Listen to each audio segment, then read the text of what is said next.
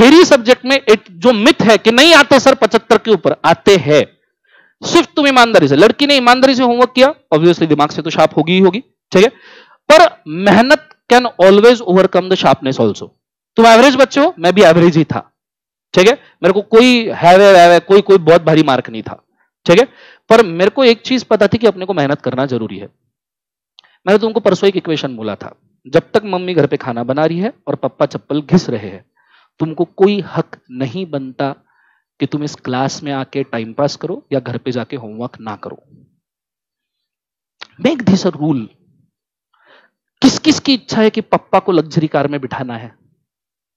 Raise your hand तुम्हारी कमाई हुई। सबकी इच्छा है। I will tell you the truth without doing homework it's not possible sir कुछ भी।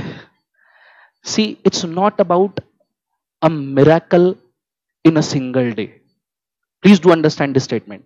It's not about a miracle in a single day. It's about magic every day.